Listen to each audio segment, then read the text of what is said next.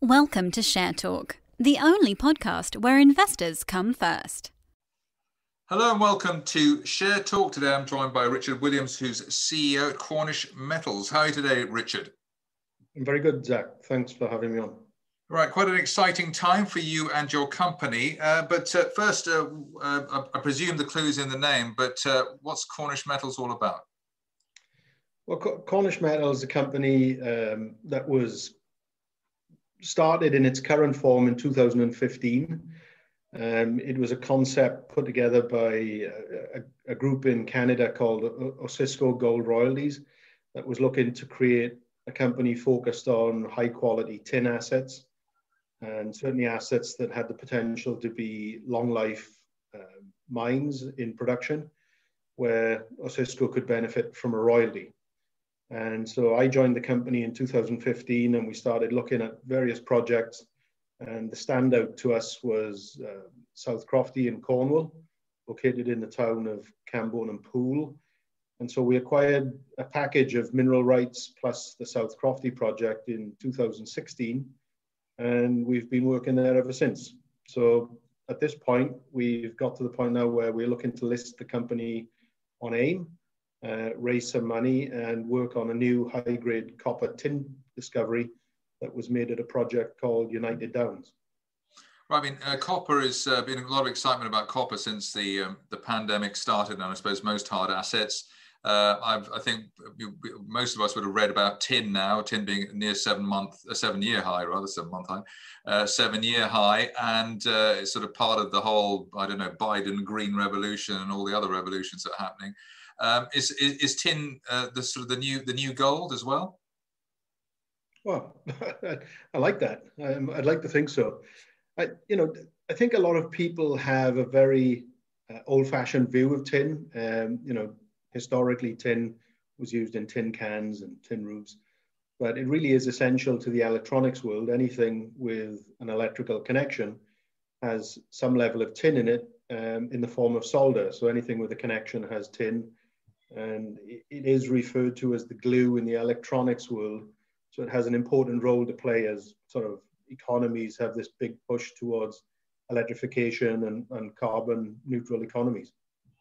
And um, we're, in, we're speaking in the run up to your proposed AIM listing. Uh, why have you decided now in uh, January 2021 is, is the time to be on the London stock market?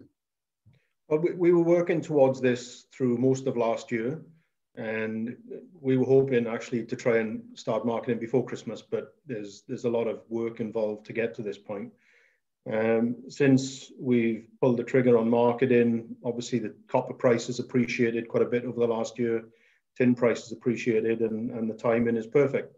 And the other thing that's that's really helped us is seeing the end to Brexit, and it just clears the way forward for us to get listed here in the UK and get exposure to the UK investment community. And in terms of uh, United Downs, um, the, what's the project and the potential there?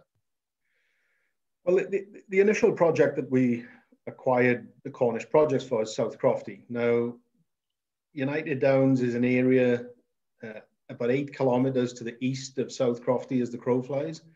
It's in a district that was known as the Gwennap Mining District, which was very well known globally in the 1700s and early 1800s as the producer of very high grade copper. Um, there were two mines in particular called the United Mines and Consolidated Mines, which were producing copper in excess of 7% grades, which is extremely high.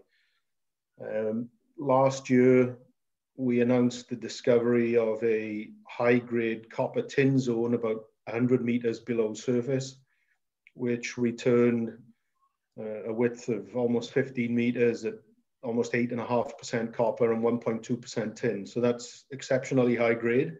And we think it represents an opportunity to, um, to hopefully develop a new mineral resource that can be put into production uh, in this same area. Right, and um, the, there's a lithium angle as well, which uh, some people might find as exciting or more exciting than uh, copper tin. Uh, what's your uh, exposure there? Well, when we acquired the Cornish assets, one of the first phone calls we had was from Jeremy Wrathall, who runs Cornish Lithium.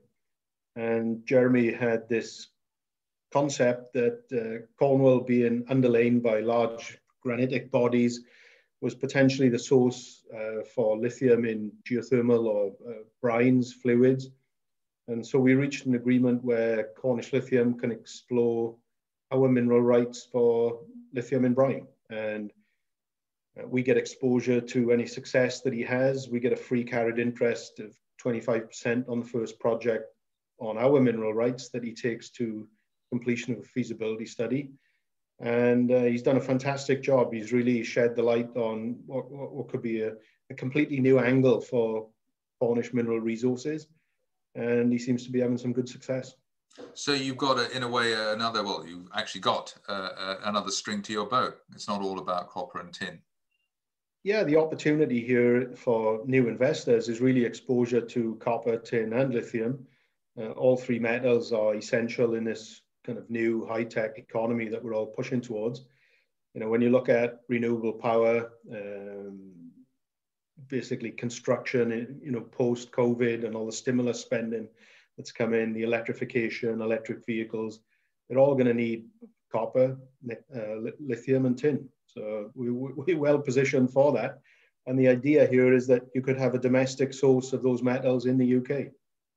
So uh, no uh, queuing up at the border uh, for various uh, commodities. Um, right. So we just started the year. Uh, it's, as I said, it's an exciting time for you. It's going to be it's, it's going to be something to look forward to over the over the near term in terms of being on the market. But uh, for the, for the rest of the year, what do you, what what can we expect? Well, we're currently in the midst of marketing. Um, you know, the objective here is to be listed by the end of February, subject to a successful roadshow and use of proceeds from any funding that we raise would be to, to start drilling at United Downs within the next couple of months. Uh, and the objective of that drilling is to outline what the resource potential could be.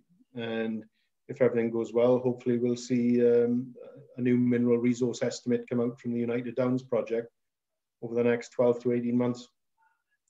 Okay, and so I mean the long-term plan, apart from uh, sort of sizing up your your resource uh, in Cornwall? Are there any other moves, any other acquisitions you might make? Uh, any other ideas that you've got uh, in the back of your mind?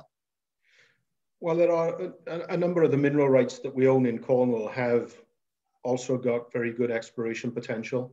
One of the standout features of Cornwall, in my mind as a geologist anyway, is that you've got this mining history that stretches back to the Bronze Age. Uh, there are something like 2,000 documented mines in Cornwall, but very little in the way of modern exploration has been conducted to look for new mineral deposits. And that's really highlighted by this discovery of the copper tin mineralization at United Downs, which is just 100 meters below surface. So we, we think with some, some success for ourselves, it'll just attract more investors into the region. Um, and, and really the objective here is to bring in modern mining technology into an area uh, that has seen a long history of mining, but still has a lot to offer. So it's a mixture of uh, uh, the, the demand from the, the, let's say, the new economy and uh, new technologies, and plus your new, new technology and uh, geological skills um, coming through in terms of, or geologist skills coming through uh, in terms of Cornwall.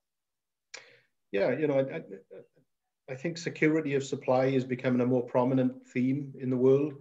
Uh, ethical supply of materials is, is certainly something that most shareholders look to for companies like the Apples and Panasonics and Samsungs of the world, you know, just to ensure that the materials that they use are coming from ethical sources. And we believe in Cornwall, we can meet all of those demands.